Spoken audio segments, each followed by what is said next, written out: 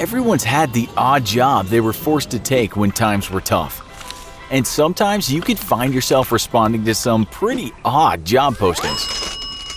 Millions of people every day show up at laboratories and medical facilities around the world to be guinea pigs for dangerous drug trials or to test new gadgets and devices.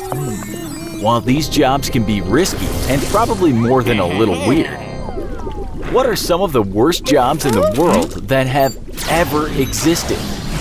One of the worst jobs in history certainly had to be that of Punkawala, a royal fan bearer in ancient India. With temperatures reaching a whopping 122 degrees and humidity as high as 80 to 100%, it's a wonder that people survived before the invention of air conditioning.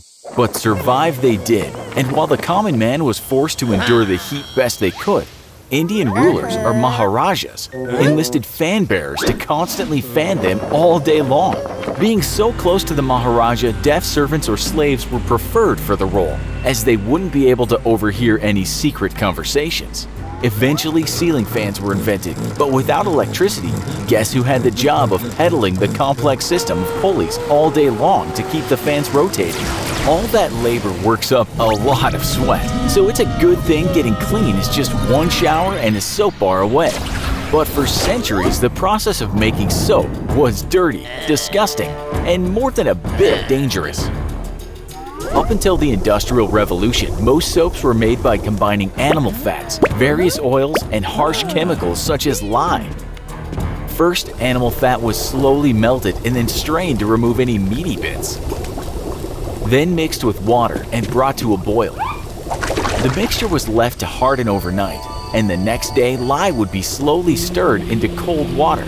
Because of its volatility, adding too much lye to water or the reverse, adding water directly to lye, could create an explosion. Even if the mixture didn't explode though, it would heat rapidly due to lye's exothermic reaction with water. And without any protective equipment, any lye that got on the worker's skin would leave horrible burns. The fat mixture would then be added to the lye water mixture and blended for hours. Soap may leave you feeling fresh and clean, but it was definitely a smelly and dangerous affair to make for thousands of years. Melted animal fat can be kinda gross, but nothing tops the gross level of the next worst job in history. Medieval Europe is remembered mostly for epic stories about brave knights, ah. but one thing it's not remembered for is its indoor plumbing, which did not exist in most medieval castles and villages. But people still had to use the bathroom, and all that waste definitely had to go somewhere. Enter the gong farmer, a polite term created for the peasants whose job it was to clean latrines, outhouses, and royal privies.